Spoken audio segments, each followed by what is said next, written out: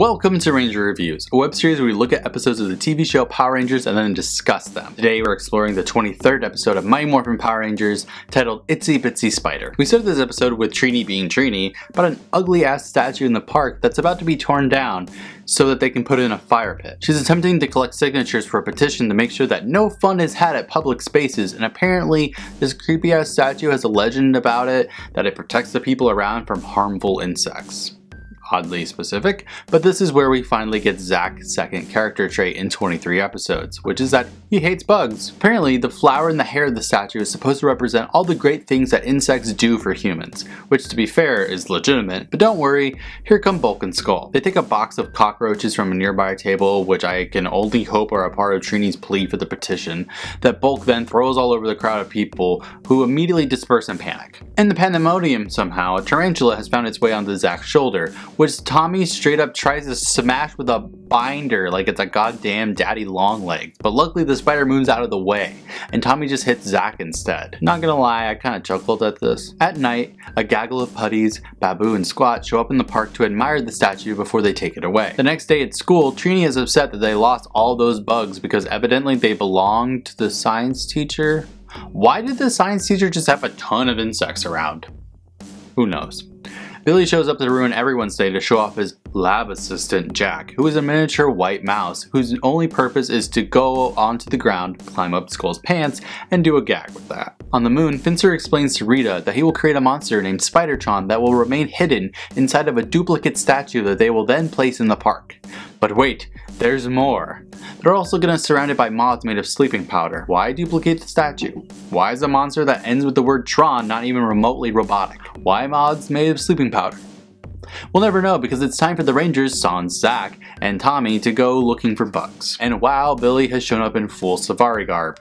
It's marvelous. But this expedition is short-lived as Rita sends out putties so they don't get too close to the duplicate statue, and we get a pretty decent putty fight in this new location. What's Zack doing? Teaching a bunch of white nerds how to fight dance. Yep, Welcome to Hip Hop Kido, bitches. But before things can get too nasty, Zack realizes that he left a tape in his car for the best porno music, so he leaves the kids to practice some sweet moves on their own. The sleeping powder mobs show up in his absence and knock the kids out, and when Zack comes back, this is looking like a goddamn hate crime setup. He tries to wake up the kids to no avail, and he contacts Zordon, who tells him what's going on. The mobs show up and start chasing Zack, who runs away from these things on strings. Luckily, Zack remembers that the statue in the park is supposed to protect humans from insects, which is definitely not the same thing that Trini said about insects doing things for humans.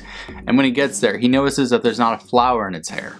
Instead, it's a pair of snakes. Zack decides to take matters into his own hands and morphs, taking out his power axe where he promptly blows the statue up for no other reason than it was different than he expected. Spidertron hops out of the statue's remains, and all of a sudden, Goldar flies in to fight Zack too. Man, this has turned out to be a really shitty day for Zack. Zordon lets the bug-seeking rangers know, and they morph to the scene. There's a short battle before they shoot him with the blade blasters, and for some reason Rita utilizes this opportunity to make Spidertron grow. The rangers call out the Megazord, who quickly just punches Spidertron in the most comedic way. Then, something mildly interesting happens. The Megazord is hit so hard by Spidertron that they disengage from that formation and we get a nice little battle between the individual Zords and Spidertron. Then, Jason gets pinned down, so of course we gotta call on Tommy. Where has Tommy been this entire time you may ask? Just casually training with a sword in the forest, as one does. He morphs to the scene and calls on the Dragon Zord.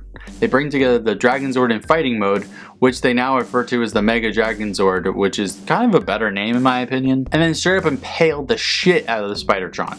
Seriously, we see his smoking innards from the stab wound. Zack goes back to the sleeping white kids and yeah, they're fine and they all dance together again. But don't worry, this episode hasn't been put out of its own misery just yet. We're back at the high school where Zack brags to his friends about how he's over his fear of bugs. Tommy puts a plastic spider on his shoulder and it totally freaks him out anyways, so like of course predictability for predictability's sake.